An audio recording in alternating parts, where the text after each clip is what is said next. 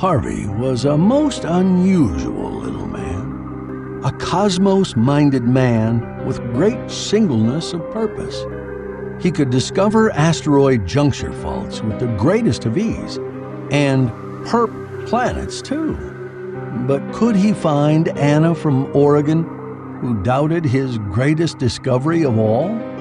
Chicken Farm by Ross Rocklynne. That's next on the Lost Sci Fi Podcast with at least one lost vintage sci fi short story in every episode. We're going live again on YouTube this Thursday, October 19th at 8 p.m. in New York, Philadelphia, and Atlanta, and 7 p.m. in Dallas. Hope you can join us. There's a link in the description. Ross Rocklynne made his debut on the podcast six months ago with Distress Signal He's back today with an unusual story about chickens in space. We'll find our story in the March 1953 issue of Planet Stories magazine. Turn to page 34 for Chicken Farm by Ross Rocklynne. Just in from a long haul searching for asteroid juncture points, Harvey entered the lobby of the Hotel des Mars and went straight to the registration desk. The woman at the desk, who was blonde and blue eyed and inclining to chubbiness, looked at him, smiled. The smile was of such quality that Harvey's singed brown face set into a mold of utter attention. Finally, he let out his breath. I want a room, said he, on the Deimos side.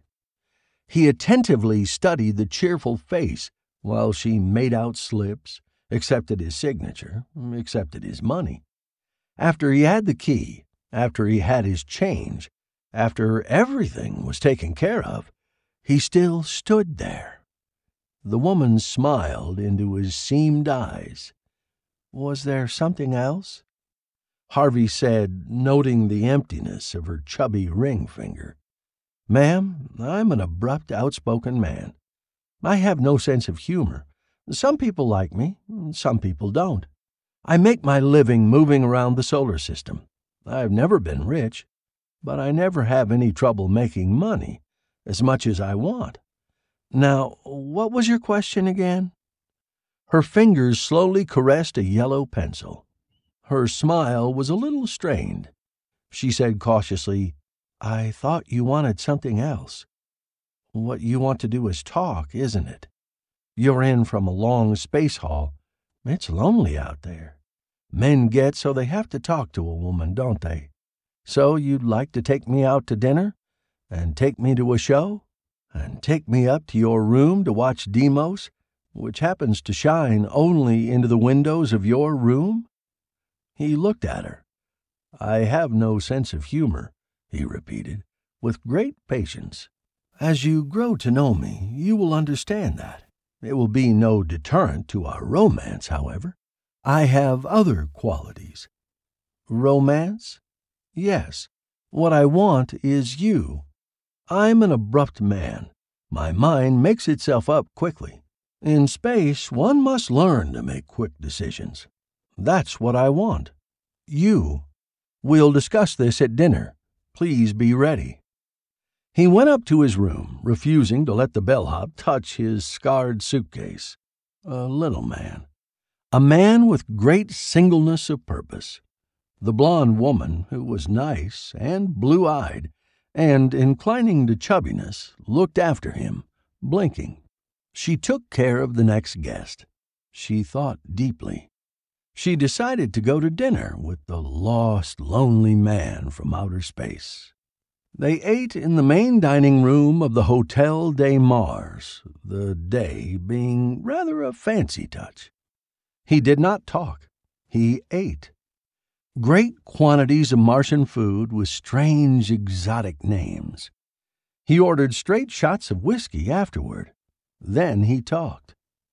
Now, we were discussing something of importance at the registration desk, ma'am. What was it? Me. Fine. I'm glad you remember. She burst into laughter, then stifled the laugh in horror. He shook his brown, leathery head. Laugh, please. Laugh as much as you please. I have no sense of humor, but I think other people should have the opportunity of exercising theirs. I often say things which are funny to others. As for myself, I never laugh. This you will become accustomed to. I'll order you some champagne. Do you enjoy Terra Freno 97? Love it, she said, having never had any. She leaned forward, her eyes sparkling. I'm enjoying myself so much. Everything is so unorthodox. I was brought up in Oregon on my father's chicken ranch. The town people were so orthodox. I came to Mars all alone just to get away from people orthodox. Now that I've become unorthodox myself, one of these days I'm going back to Oregon and teach them to be unorthodox. And of course, I'll own a chicken ranch. He gulped whiskey. He looked at her searchingly from steel colored eyes that had leather seams around them. You like chickens? Plymouth Rocks, she said. They're the most beautiful bird alive. I'll raise Plymouth Rocks. Fine, he said. I'm glad to know this. However, drop the idea of going back to Oregon. We'll be heading for the outer spaces, ma'am. Is this why I'm having dinner with you? Yes, to let you know my intentions. He called for the check. I'm forty years old, ma'am. The time has come to make a permanent home for myself with a wife and children. For several days I've toyed with the idea of falling in love with someone. What's your astrological sign? Taurus. She looked at him over the champagne, her face wide with a smile that had an almost irrepressible giggle behind it. Fine, fine. He threw money on the table and got up. I'm Pisces. Pisces and Taurus get along very well. This is the reason I fell in love with you, ma'am. What was your name? I want to finish my champagne, she protested, not getting up. My name is Anna Christina Morley. He sat down. Forgive me. I'm an abrupt man. I do things and then they're over. I never linger. As you grow to know me, this will become apparent. But finish your champagne. My kind of woman always speaks her mind. So your name is Anna Christina Morley. A very unusual name. A numerological breakdown would no doubt show you to be a strong, uh, firm, an idealistic woman. I am a fortunate man. Have you finished your champagne? I guess so. She sighed. She got up and took her cape that had the twinkling little bells on it, and that changed color every five minutes on the second, and that told time. Where are we going?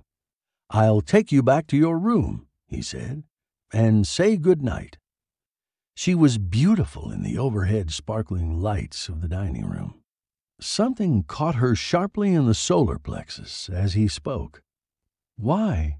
she said forlornly. His singed eyebrows came up. Why? My purpose is accomplished. You know my intentions. Now I must go out and prepare. I'll be leaving for outer space within the hour. I'll be back in ten months. He took her to the door of her room. Good night, Anna, he said. She stopped him. Her heart was beating too hard. There was in her a sharp emptiness, a terrific sense of frustration. Kiss me, she said wearily. You said you were in love with me, so we might as well get that much acquainted. I am in love with you, he said. He immediately took her into his arms, kissing her long and hard. Then he released her, looking strangely into her eyes. Anna, he said, I shall be back in ten months. I know you'll be here. He went down the stairs. She went into her room. She sat on the edge of the bed. Then she threw herself on the bed and cried hard, angry sobs. Why had she allowed him to ruin what could have been such a splendid evening? She kicked her shoes off. They hit the wall with two walloping thumps. She lay on her back and laughed at the ceiling, with tears coming out of her eyes. What an evening!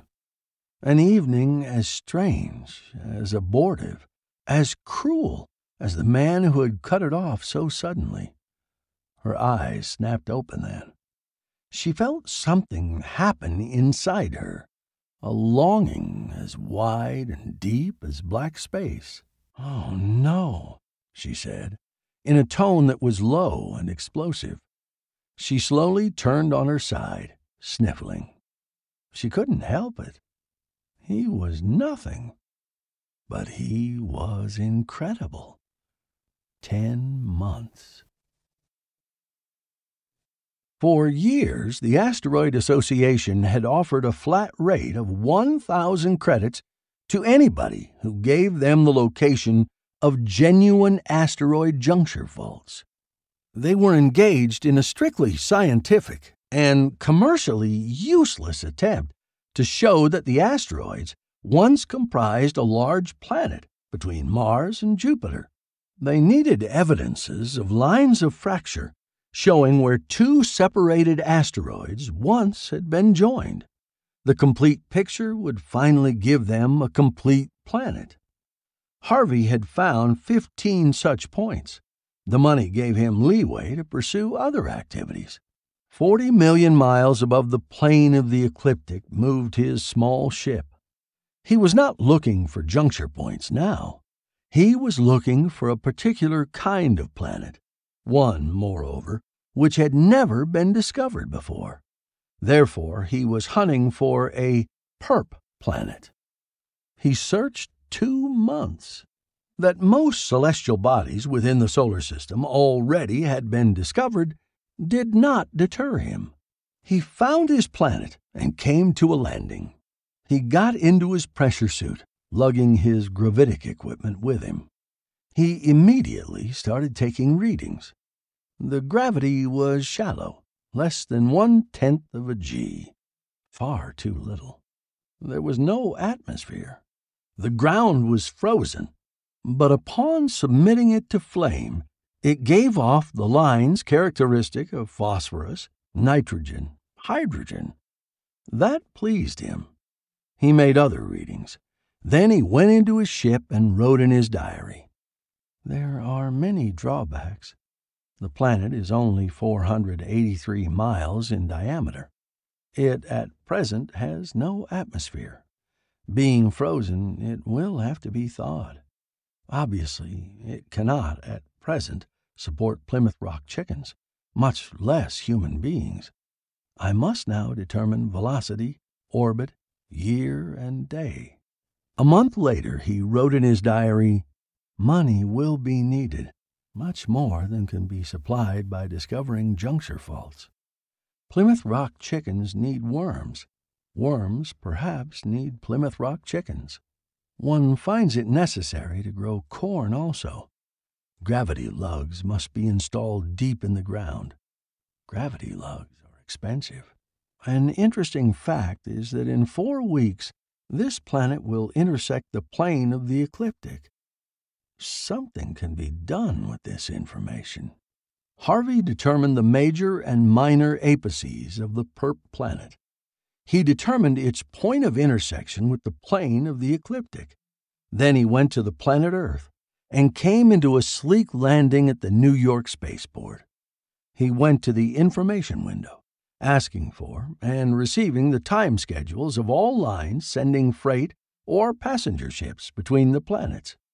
He studied them for a week in his hotel room. He went back to the information desk to confirm his findings. The clerk was most helpful. Yes, the liner Hermes of the firm Graminger and Lewis would leave Venus at 7:17 Solar Standard Time on a Wednesday, 3 weeks from now, bound for Titan of Saturn. The space coordinates Harvey had figured out were correct. Yes, the shipping firm of Graminger and Lewis would not dare change the trajectory or the schedule on as little as three weeks' notice. To do so would involve loss of prestige as well as of millions of dollars in contracts and passenger fees. Harvey thanked him and went to the claims registration office on Luna. I wish, he told the official, to register prior discovery and ownership of a planet whose orbit lies perpendicular to the plane of the ecliptic. The official doubted very much that any perp planets remained to be discovered, telling Harvey they were useless anyway. Harvey did not laugh. The official spent an hour poring over catalogs, showing increasing amazement. Finally, he said, You're in luck. At the end of an hour, he had found Harvey's planet in numerous photographs and had taken readings on the orbit which exactly coincided with Harvey's figures. He made out the necessary papers. Now Harvey owned a planet. Harvey said, I'm an abrupt man, sir. I speak my mind. I have no sense of humor, as you must realize by now. I want a tankful of fuel on credit. The official shook his head. I can't do it. I have no authority to give credit. This is the United States government you're talking to. He laughed. Harvey did not laugh. I am asking for personal credit. On what security? Harvey thought. On no security. I am an honest man. My word is good enough.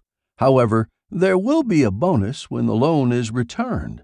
Before Thanksgiving, you will be in receipt of one dozen succulent, tender, meaty Plymouth Rock chickens as large as turkeys.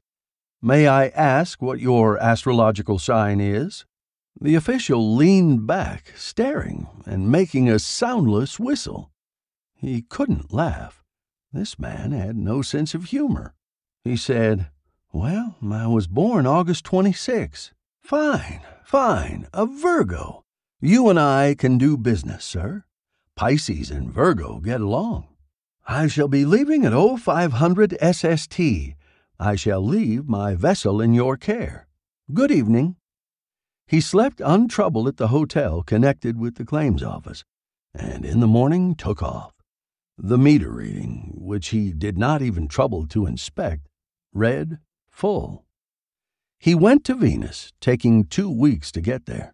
On the way, he passed his planet, which he was naming Plymouth, but did not trouble to open the port to look at it. Not much could have occurred to misplace it.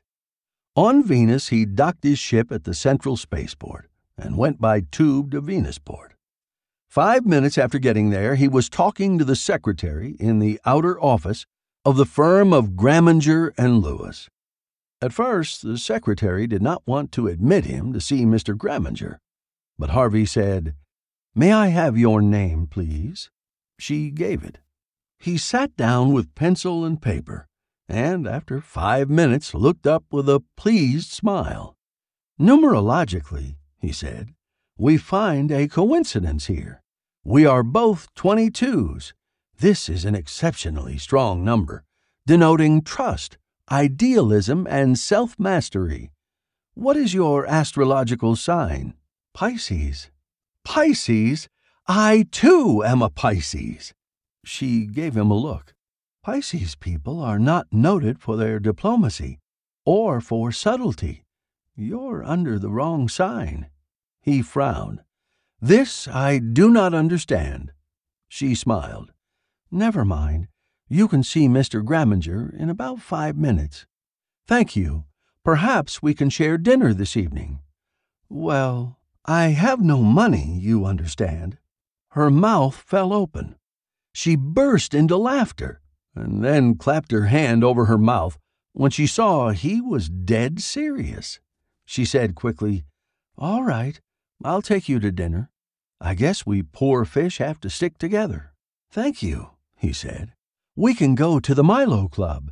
In return for the favor, I can promise you that before Thanksgiving, you will receive three large Plymouth Rock chickens of unusual tenderness and flavor. He picked up a magazine and read while waiting. Graminger, when he saw Harvey, leaned back in his chair, scrubbing a meaty chin. He remarked he was pleased to meet Harvey, but he couldn't place the name and did not understand how Harvey had got into the office without a prior appointment.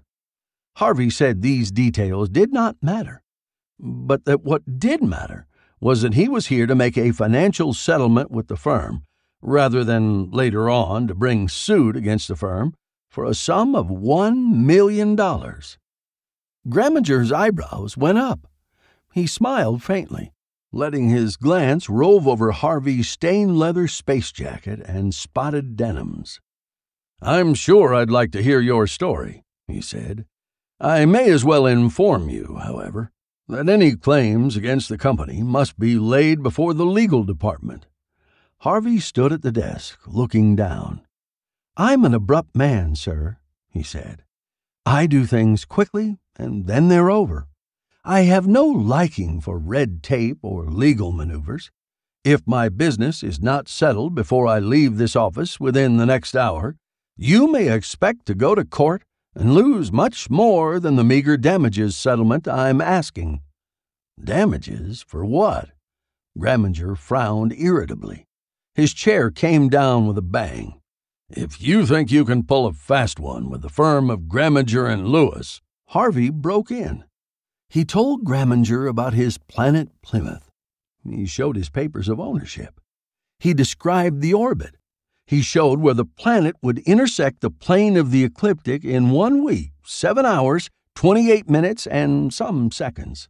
He showed the official seal from the claims office proving that this was so. Your liner Hermes, he said, will intersect the orbit of the planet Plymouth some 17,000 miles from Plymouth. The atomic wash from the Hermes drivers will infect space for a 100,000 miles around. This is standard knowledge and has been proved in court. Legal precedent has also established that nucleonic, gravitonic, or positronic infection of planetary farmlands constitutes a serious misdemeanor for which damages, both punitive and otherwise, may be sought. Greminger grinned. Let me see those papers. He looked them over, chuckling. Once he looked up. Planetary farmlands, huh? And this planet is a hunk of rock out in space, frozen, only 483 miles in diameter, no atmosphere. He scooped up the inner office phone. Phil, he said, get up here. I want you to prove something to a loco joking yokel I've got up here in the office. He hung up. That's my lawyer, he said leaning back and folding his hands over his capacious stomach. Too bad. Maybe you'll learn a lesson from this. May I ask what your birthday is? Harvey asked. Greminger told him. Harvey's jaw came out. Cancer. Yes, I can see we will have to fight this out. The lawyer came in. He smiled a little when Greminger explained. He looked at the papers. He shook a sleek head. He handed the papers to Harvey. You don't have a chance, man. Have you looked into the definition of what constitutes planetary farmlands? What is the definition? said Harvey. Planetary farmlands, legally and simply, are the natural surface or portions of the surface of a planet of any size which could support vegetative growths of any kind. Your mistake here is that this planetoid and every other such a body that has been discovered, does not have a soil surface. Ergo, it cannot support plant life. If it did have a soil surface, Harvey said, the lawyer looked at him whimsically. It couldn't, he said, in what was meant as a kindly tone. These odd sized bodies that wander through space have invariably been discovered to be crystallized meteoric, inorganic materials from top to bottom. But if it did have soil, natural, original surface soil? The lawyer spread his hands, shrugging. It can't be. But if it were, naturally the company would change the Hermes trajectory, Harvey said. Greminger glared. Greminger and Lewis has changed neither a schedule nor a trajectory in its career as the oldest shipping concern in the solar system, he snapped. Well, said Harvey, what would you do if it were proved that Plymouth has a natural soil surface? He took a flat paper bag out of his pocket and emptied a pile of dirt onto Graminger's desk. The lawyer and Graminger looked at the pile of dirt. Both men grew a little pale. The lawyer licked his lips. If you show that that dirt comes from Plymouth, he said, Graminger and Lewis will stand the expense of transforming the planetoid into a free mover. This means, said Harvey, that you would be forced to install gravitic machinery under Plymouth's surface, including plus and minus grids, and controls that would make it possible to move the planetoid out of the Hermes way. Yes. You would also install atmosphere making machinery? If the claimant asked for it, it would be a simple matter. You would also provide a transmutator as an adjunct to the atmosphere machine so that water could be provided? Graminger was being very silent and small behind the desk. Unconsciously, he nodded his head. The lawyer, his amiable manner somewhat shattered, nodded slowly. These and other things could be done, and would be done in a hurry. Also, persisted Harvey, there would be an inconsequential cash settlement of perhaps 10,000 code credits. The lawyer was silent. He looked at Graminger. Graminger said slowly, That is a small matter, and would be agreed to. But there is a large matter, and that is to prove that this soil comes from Plymouth. For my money, it's still a hunk of rock. Harvey stopped him. He explained briefly his experience in discovering asteroid juncture faults for the Asteroid Association. He explained that once, according to theory and great evidence, a large planet existed between Mars and Jupiter. The planet exploded, forming the asteroid belt, and throwing out large errant chunks of itself, which moved in various peculiar orbits about the Sun. Plymouth is such a chunk, and, added Harvey complacently, I will undoubtedly be paid 1,000 credits from the Asteroid Association later on when I show that Plymouth comes from that shattered planet's surface. And I will prove also, for the first time, that that shattered planet contained a surface soil on which vegetable life was rampant. Plymouth is such a proof. Graminger writhed and sweated. He pointed to the pile of dirt. But you haven't proved. Harvey turned to the lawyer. May I ask your astrological sign, sir? The lawyer grimaced. Why? I don't believe in astrology. I have been told it's Taurus. Harvey smiled. This is a fine coincidence. My fiancee's sign is also Taurus. I am Pisces. The two signs are especially in affinity with one another. I believe you can trust me, sir. He looked straight into the lawyer's eyes. The lawyer grinned lopsidedly after a moment and turned to Graminger. We can trust him, he said. He's right all the way down the line. Anyway, we couldn't waste time in finding out. All right, Graminger rapped the words out, half angrily. Take care of it, Phil. Get Parsons and Carey on the phone, and ask them to send all their engineers and equipment out. Pronto. The lawyer nodded briefly at Harvey and left the room. As for you, said Graminger. He gulped and stopped. With trembling fingers, he began shoving the pile of dirt back into the paper bag. Harvey thought a minute. I wonder if I could use your phone? he asked. Graminger growled in assent. Harvey sat on the edge of the desk. Get me outside, he told the operator, who turned out to be a machine somewhere in the building. The mechanical voice told him to press the zero key. He pressed the zero key. Get me Mars, he said. The mechanical voice changed to a human voice. Get me the Hotel de Mars on Mars, he said. Graminger was staring at him. A voice at the other end came through thinly. Let me speak to Anna Christina Morley at the registration desk, he said. Graminger sat down, beginning to smile and staring at Harvey as if not only a new planet, but a new type man had been discovered. Harvey said, Anna, dearest, I shall speak very plainly, very quickly. I am a man of few words. What? His leathery face lost a little color. But you are my fiancé, you know. Am I? she cried. What makes you think so? What makes you think you can talk 15 minutes with a girl, have her fall in love with you, assume she'll go crazy waiting for you, waiting 10 months, when four months have already passed, without hearing from you? My dear Anna, he said, if this is a joke, you're a joke. She sobbed. She broke down. I don't know what you did to me. Only fifteen minutes. How could you have done that to me in fifteen minutes? He frowned.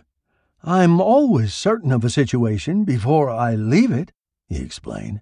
That is a common precaution that we men of space must take. An ordinary survival mechanism, I should say. Besides, you are a Taurus, and I am a Pisces and I computed that numerologically, bother your astrology and your numerology, she snapped. There was silence, a long half minute of it, stretching between Venus and Mars at a half credit a second. Graminger continued to get more and more amused. What do you want? she asked. When will you come back, if ever? His singed eyebrow went up in puzzlement. I told you ten months, Anna. I meant ten months. As for what I want, please, at once, send a space wire to your father in Oregon. Have him ship five hens and a cock by fast passenger express to the spaceport depot on Venus. Ask him also to include whatever special medicines, feeds, and instructions are necessary for the raising and nurturing of Plymouth Rocks. She gasped. For heaven's sake, why? Don't you want a chicken farm? I am building one on a planet I own. A groan came over the phone, lasting long enough to cost Graminger and Lewis a credit and a half. Dad won't send them, I know. It's harebrained. No one's ever tried to raise chickens, any place except on Earth. That isn't the point, he said. Send the wire. All right, she said in a small voice. Furthermore, he added, inform your father this is a business venture. I shall keep him supplied, as middleman, with a new breed of Plymouth rocks which are considerably larger than turkeys, are more succulent, more tasty and tender, lay larger eggs with possibly larger yolks. How? I have some knowledge of biology and pressure chemistry, Anna. Plymouth will be ideal. What's Plymouth? The name of the planet. Harvey cocked his ear at the silence. Then there were sounds of sniffles. I have to take care of a registration, Harvey, Anna said. I have to go. I'm very proud that you love me, Harvey. I'll wait for you, and I'll convince Dad. Goodbye. Goodbye, said Harvey. He hung up. She misses me, he told Graminger. Poor girl. Would you like me to take the 10,000 credits in cash or as a check? A check, said Graminger. He wrote it out. Harvey took it and started toward the door. He called back, Thanks for the use of your phone, and walked out. Graminger had nothing to say. Harvey went back to Plymouth some two weeks later. He now owned a much larger ship. It was crammed to the brim with chemical fertilizers to improve the soil. There were also seed grains such as oats, wheat, and corn. There was lumber for building, plumbing fixtures, windows, doors, everything needed to build several sheds, plus a long, low, rambling ranch type house. The hens and the cock were aboard. There were six men also, who would do the building and help in any other way necessary. Plymouth was a beautiful emerald planet as they hove in close to it. As they landed, a pleasant sunny atmosphere swirled around the ship. The gravitic machinery kept the gravity at Earth normal. The ground was already thawed and was surprisingly like the rich, life filled loam found in Iowa cow country. An engineer was waiting for Harvey, showed him the gravitic controls, explained the planet had been moved a million miles out of its orbit so that the Hermes could plow past without harming it.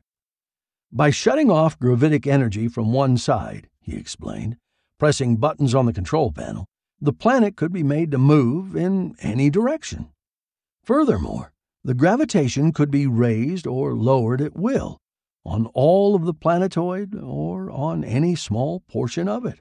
Fine, fine, said Harvey, much pleased. Before the engineer took off, Harvey promised him several large Plymouth rocks before Thanksgiving and as an afterthought, took a numerological reading on his name. Then he instantly started in to work. The house went up, saws whined, sheds went up, hammers hammered, lawns were laid, ground fertilized, worm eggs installed. Some natural vegetation of a weird nature appeared, its seeds having been alive, but frozen for a time measured in epochs. No doubt of it. The soil was alive. The fowl flourished in their fenced in yard, prone to no diseases, having no natural enemies, neither mice nor lice. Harvey worked with three generations of chickens. He made his experiments with fluctuating gravity under the chicken house. His employees were fascinated. Harvey explained, I'm actually 50 years old, he said. Don't tell my fiancée. She thinks I'm 40. But being out in space, virtually with no gravitational pull on my body, for almost all of my life, my life expectancy has been pushed up to somewhere in the hundreds. I can pass for 40. Gravity, he said, makes people grow old and probably hastens death. The muscles have to fight gravity, so do all the other organs. The muscles toughen, get stringy, the skin, the nerves, the arteries, and the meat of the body get brittle and hard. This is what is known as old age. Think what effect a lowered or fluctuating gravity could have on these beautiful gray white birds. Harvey experimented a great deal as the weeks passed. He often adjusted the gravity lugs down to a point where they exerted just enough force to hold the atmosphere to the planet. The results were remarkable on the Plymouths. The third generation of fowl were distinctly a fifth larger than their ancestors. The cocks, which normally should weigh 10 pounds, now weighed between 10 and 14. The hens, in proportion, kept a couple of pounds under this. They matured faster. They bred much more vigorously than any Plymouth Rock ever had. The eggs were consistently larger. Harvey early decided against hatching incubators because the hens, untroubled by vermin or other influences, such as bad weather, which could make them neurotic, paid tranquil attention to their jobs. He did, however, have open electric brooders constantly going, so that the chicks could go to them for warmth if necessary. Lowering the gravity had a similar effect on his corn, oats, and wheat crops they sprang up, maturing in a remarkably short time. There was plenty of feed for the fowl. Plymouth was rapidly becoming self supporting. Harvey was pleased. He explained again. Pressure can be considered as a gravitational effect, and vice versa.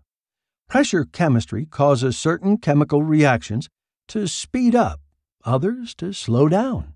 I figure that by Thanksgiving I can find the correct variation of gravitational pressure that will give me a breed of Plymouth Rocks never seen in this universe. By the time the fourth Swift generation came along, he had almost reached his goal. Furthermore, the flesh was tenderer than any of these men had thought possible. When the time came for Harvey to take them back to Venus, He promised them they would be well supplied by the time Thanksgiving rolled around. Harvey was somewhat loath to leave the planet Plymouth alone. He had a certain fear in the back of his head that things would happen if he did. He intended to return as soon as he and Anna got married. He showed up at the Hotel des Mars a week ahead of time. At Anna's place behind the registration desk stood a white haired little old lady. A chill started deep in his stomach when she told him Anna left a month? No, two months ago. She produced a letter Anna had left him. It was brief and pointed. Harvey, the letter read, I know you lied to me. There isn't any planet called Plymouth. I looked it up in the star atlases. Nobody ever heard of it. I'm not going to stay here and be bitterly disappointed when you don't show up at the end of ten months. Goodbye. Harvey threw the letter away. It had served its purpose. Ma'am, he said, I'm a man of action and few words. What is Miss Morley's Oregon address? Nobody knew Anna's Oregon address. Harvey instantly left for Oregon. Landing there, he began looking. He had found juncture faults. He would find Anna. It took him over a month. He ran across her quite by accident behind the cigar counter in a drugstore. Anna, he said, there's no time to lose. Get your things, quit this job, come with me. He stopped anything she had to say. They were married in the next hour. An hour after that, they were on the way to the planet whose existence Anna still doubted. There was little room for doubt when that spot of entrancing green in an ocean of black was sighted. It's beautiful, Anna breathed, squeezing his hand. But what's the rush to get here?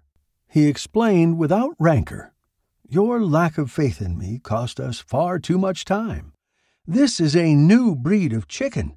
They propagate vigorously, but they have no natural enemies. Every living thing needs a natural enemy. Our Plymouths have probably overrun the planet. She gurgled then put her hand over her mouth. He took her hand away. Anna, dearest, laugh. Laugh as much as you please. But I have no sense of humor. This you will discover as we move through life together. I see nothing funny in this situation. Living creatures need natural enemies. When the ship landed, his meaning became obvious. Chickens flew in great squawking clouds through the air, walked and clucked in rivers at their feet. Feathers came down like heavy snow. The ground was covered with fluffy white mounds. From horizon to horizon, there seemed to be little else but chicken. Anna was appalled. Harvey was planning. A slaughter would be necessary. We're their natural enemies, he explained. Your chicken farm is ready to pay off. Tomorrow on the Lost Sci Fi podcast, the foot in the door technique would work perfectly for any salesman if he had an invisible foot. A message from our sponsor by Henry Slesar. That's tomorrow on the Lost Sci Fi podcast.